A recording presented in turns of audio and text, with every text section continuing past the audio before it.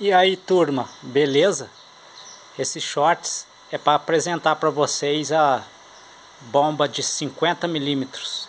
Ela é toda em peças de 50 milímetros. Apenas a saída é que a gente coloca uma redução para 3 quartos. Agora focou melhor. Tá aí, essa é a bomba de 50 milímetros.